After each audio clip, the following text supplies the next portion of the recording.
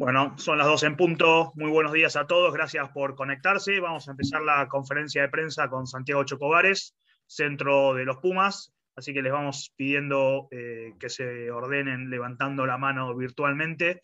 Eh, el que no sabe cómo hacerlo me, me, escribe por el chat sin problemas. Y recuerden que una vez que terminemos la conferencia, eh, la subimos entera a YouTube para que la tomen de ahí.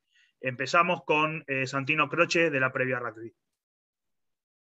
Hola Santiago, un gusto hablar con vos. Te quiero consultar dos cosas.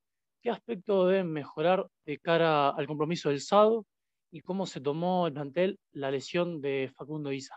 Gracias. Hola Santi, muy buenas tardes. Em, bueno, varios de, los aspectos que tenemos que mejorar. Creo que uno es eh, el juego con el pie y sobre todo la presión eh, de ese juego con el pie. Eh, nada, Sudáfrica es un equipo que tiene muy aceitado. Em, varios de los rebotes de ese juego con el pie fueron para ellos. Y no era por casualidad, sino que tenían más jugadores en esa zona de la cancha, donde iba a caer la pelota tenían más jugadores ellos. Em, así que nada, estuvimos entrando mucho ese juego con el pie, eh, estuvimos entrando mucho ese jugador extra que va de un lado para el otro, ayuda en el juego del semiataque también. Em, Así que nada, fueron cosas que por ahí habíamos visto eh, antes del partido del sábado, quizás no salieron de la mejor manera o algunas cosas no salieron directamente. Así que creo que haciendo foco en esas pequeñas cosas, creo que podemos tener otro partido el sábado.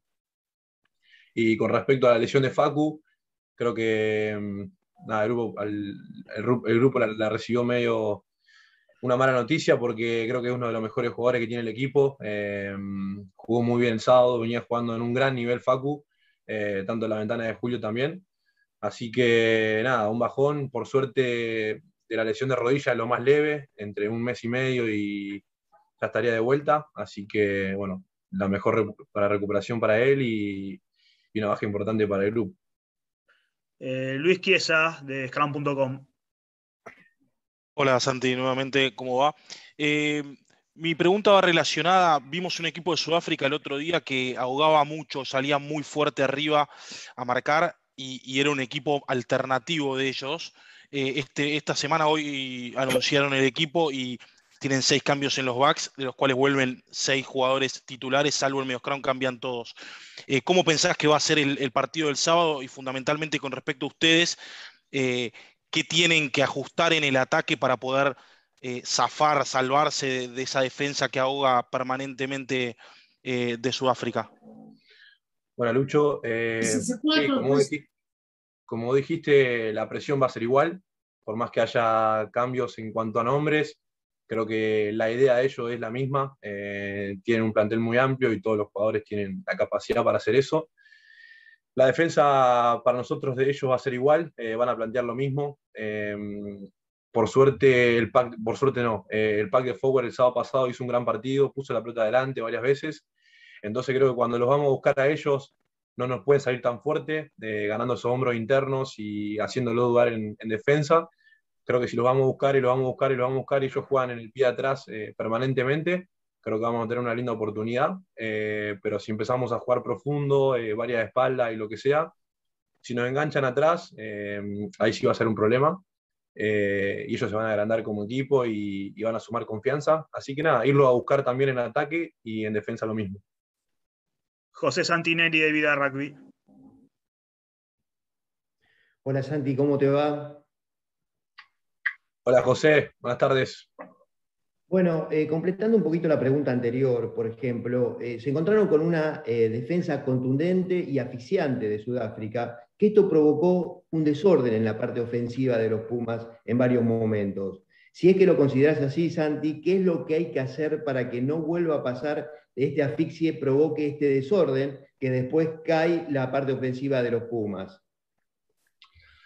Sí, mirá, eh, antes del partido del sábado sabíamos que iba a ser así, porque lo habíamos estudiado de buena manera Sudáfrica, eh, de cómo salían ellos, sabíamos que ellos envolvían, eh, que los últimos salían muy arriba, casi que no le importaba la pelota, no le importaba nada, salían desesperadamente arriba. Y nada, nuestro sistema de juego, tenemos dos jugadores extra, que son los backs del otro lado cuando atacamos para un lado, que ese laburo no lo hicimos este, casi en ningún momento del partido. Entonces ellos tenían la posibilidad de asfixiarnos y nosotros no teníamos opción en ese semi-ataque. Eh, lo, entrenamos, lo vimos ayer, lo entrenamos hoy, lo vamos a seguir entrenando el jueves, lo vamos a seguir estudiando. Creo que si hacemos ese laburo del jugador extra que viene del otro lado, eh, vamos a tener una opción ahí porque ellos no se van a esperar a ese jugador.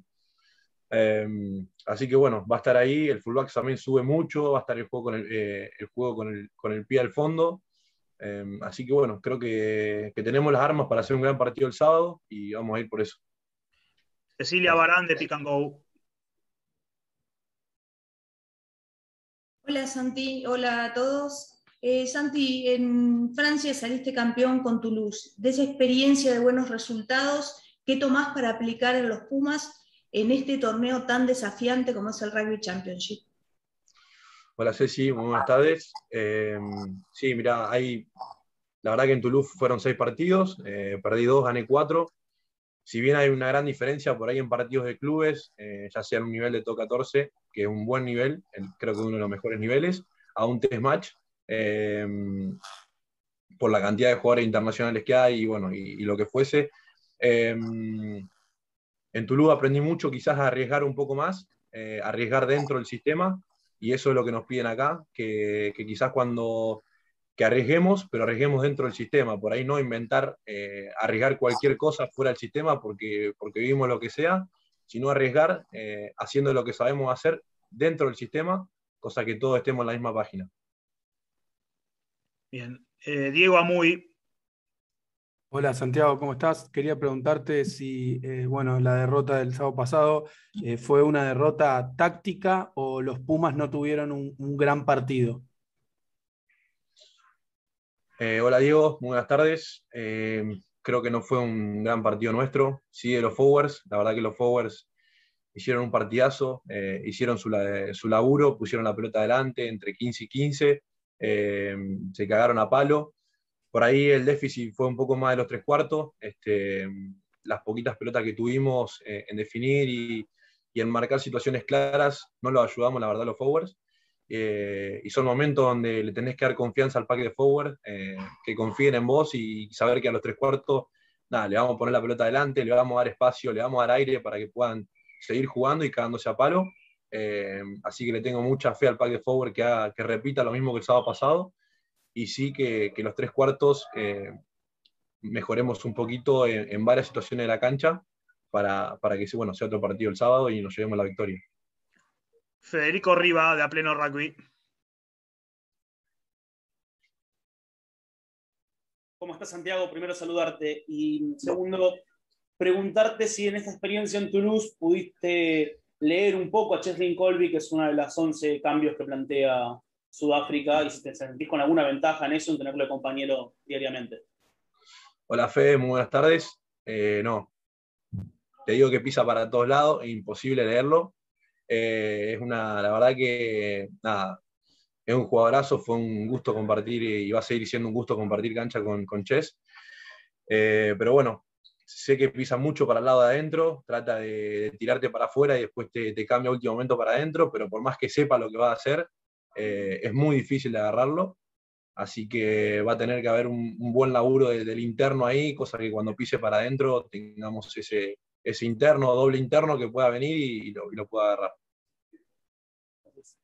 Brian Wilhelm, perdón que siempre te pronuncio mal, creo, eh, de Rugby Buenos días para todos. Santi, la pregunta también es con respecto a los bats de Sudáfrica. Eh, obviamente tiene dos aperturas de, primer nivel el equipo, pero habían practicado el tema de las patadas de Sánchez ahí atrás de, los wins, eh, o, lo sorprendió un poco el juego con el pie de, Sudáfrica que terminó lastimando al equipo argentino. Gracias. Hola Brian, eh, muy buenas tardes. Mirá, nosotros tenemos eh, nuestro sistema de defensa, sabemos dónde tiene que estar cada uno. En base a eso, el juego con el pie no nos tiene que sorprender. Sí, no, nos sorprendió por ahí la presión post-kick de ellos. la verdad que metían mucha presión con muchos reboteros cerca de donde iba a caer la pelota. Em, entonces eso fue, la verdad, que un buen laburo de Sudáfrica, eh, que ellos fueron a buscar el partido ahí. No queremos que se repita este sábado, ya lo estuvimos entrenando varias veces y, lo vamos a ir entrenando, obviamente.